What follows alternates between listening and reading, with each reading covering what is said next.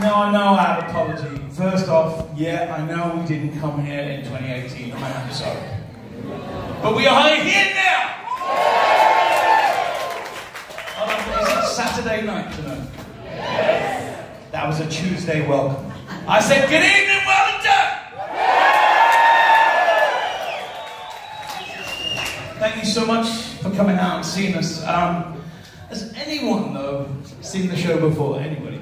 Okay, only a few. Great. That means I can stick to all the same stories. And my wife is going to be like, oh shit. So we started this, I should say, 13 years ago to do once. To do one tribute to the music of Led Zeppelin and my father.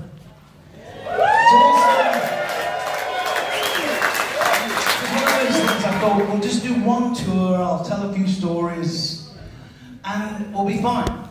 Then I soon realised it wasn't all about me and my stories about my dad. It was all about our love for Led Zeppelin. Your love for Led Zeppelin. You are as important to the show as us. We otherwise we are just five guys playing Led Zeppelin music to nobody. Which is nothing wrong with that either. Led Zeppelin's still good to play. So we're very privileged. I'm honoured to represent the family name, to bring it here to you. Now, what we try and do is go back into time to when maybe some of us had a little bit more hair, or had hair, and we were all a lot thinner, and the girl on your arm wasn't your wife yet, or your friend's wife. When you were listening to music on 8 track, cassette. Yeah. Okay, I know the age gap now. So back into those times when drugs, you didn't get them from a doctor. You got it in the parking lot by some strange dude. And the good old days, you didn't know what you'd get it. Roll the dice. Well, okay. Love, all of that, right?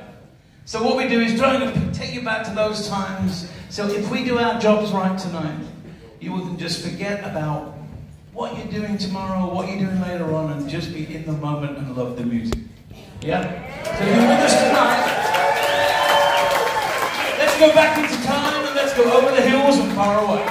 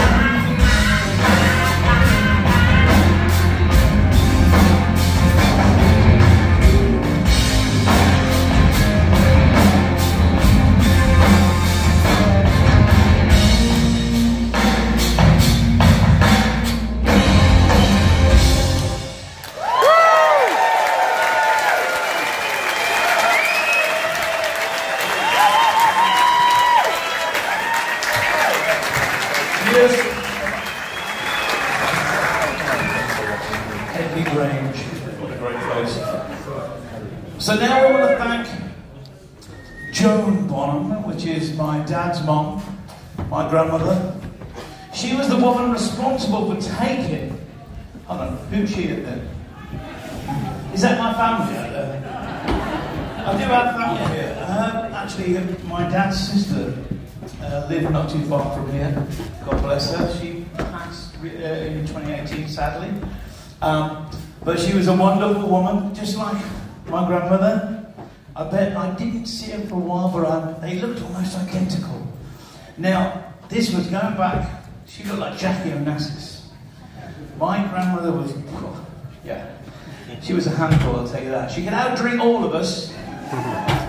She once outdrank my dad and Keith Moon at one sitting.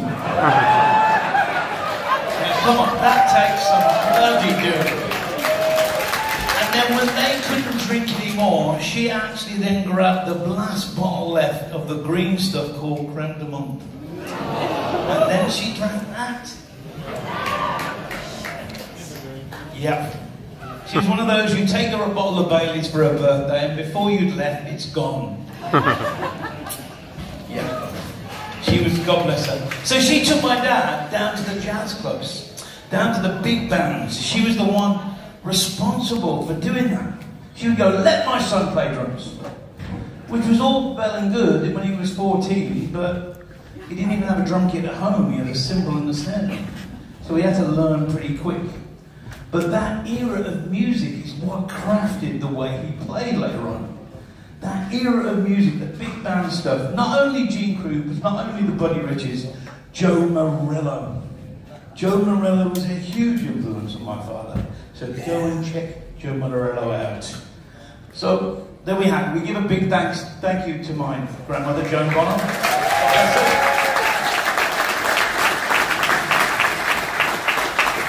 if you go back in history and read all about it, you actually know that really she fancied the trumpet player of the band, and that's why she was going down to the jazz clubs. it just sounds better the way I tell it. we can only dream. So then the next thing you know, you have an Uncle Jerry in your life, who's a trumpet player. It's true. Is this just, I'm not making it up. Is it true? So, and he was very encouraging to my father. He said, you know what, John, I think you're going to go far, but I'm not too sure about the blonde guy at the front.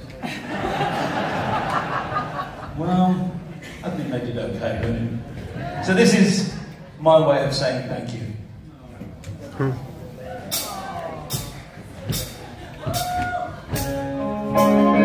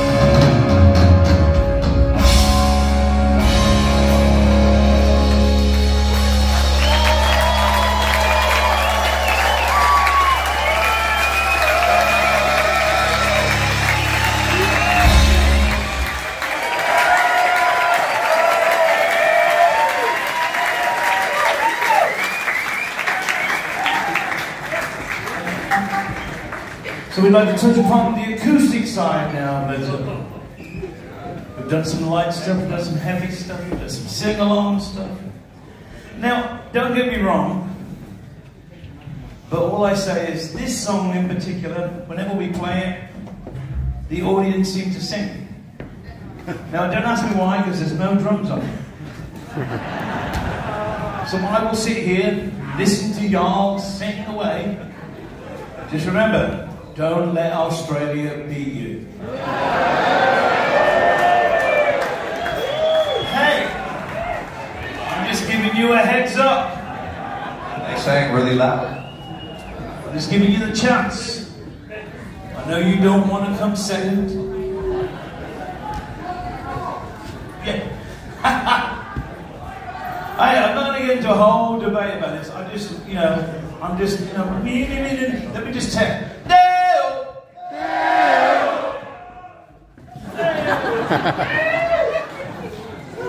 Ho- Hold on. I'm gonna. I'm, I'm just.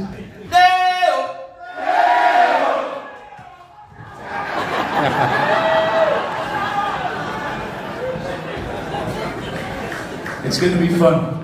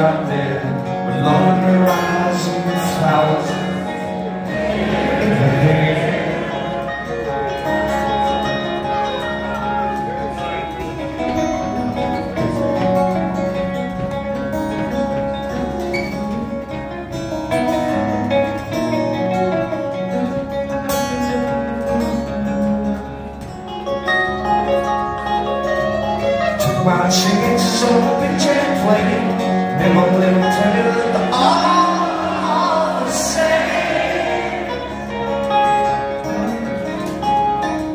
Oh, the sea was red and the sky was gray. Wanna hunt tomorrow and I follow today.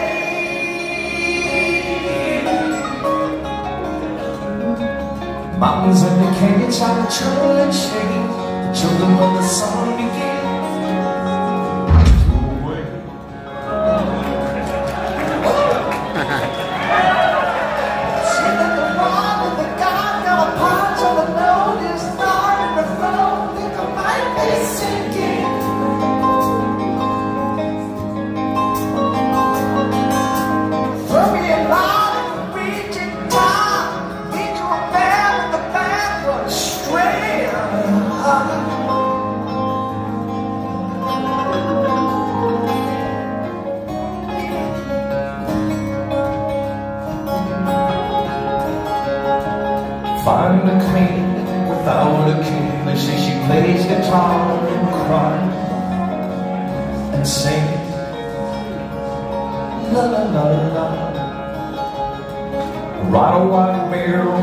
themselves a never, never, never been born.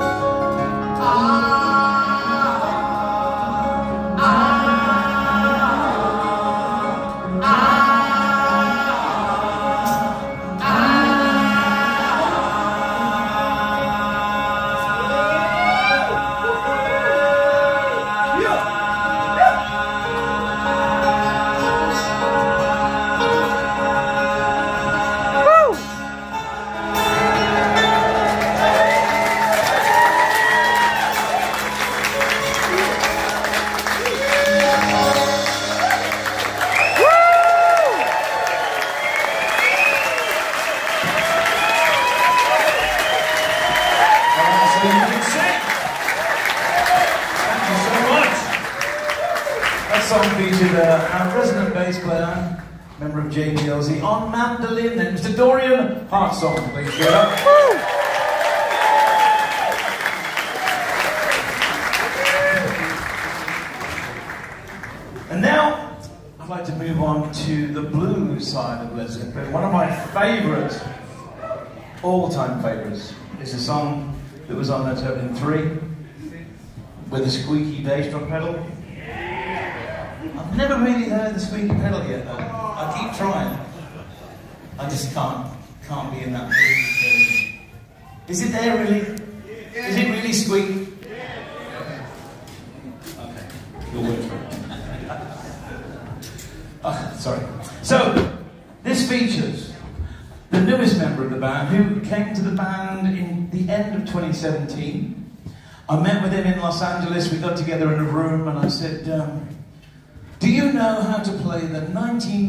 1973 version of Some Remain the Same?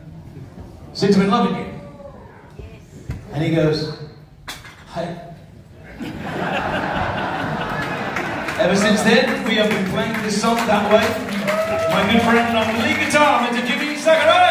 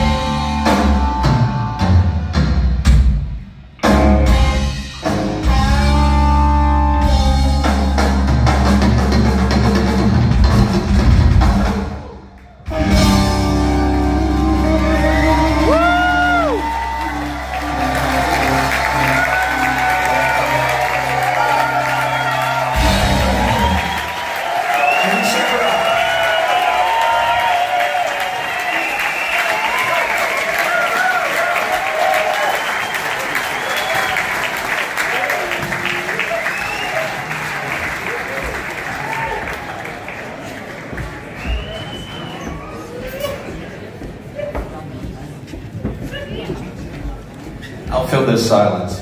This guy over here, uh, not only is he one of the most talented musicians on the planet, but he's also a really,